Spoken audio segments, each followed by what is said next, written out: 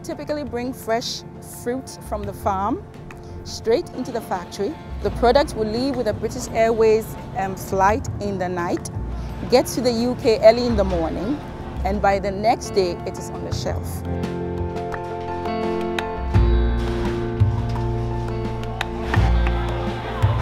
We are making profits, we are serving our customers with quality food, and we're also giving back to society.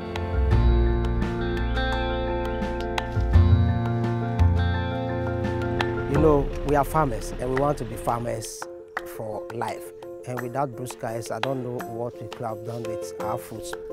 If they take all what we produce, we get money to change our families, society, and the country as a whole.